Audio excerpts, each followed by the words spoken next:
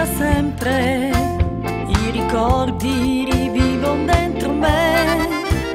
Ninna nanna cantava la mia mamma, oggi è festa.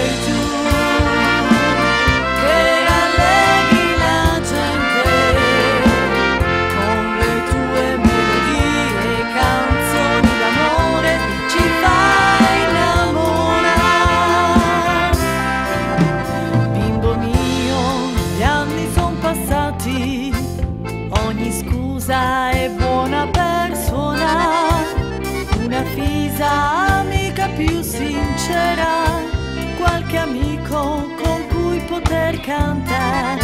Il bel sogno ormai si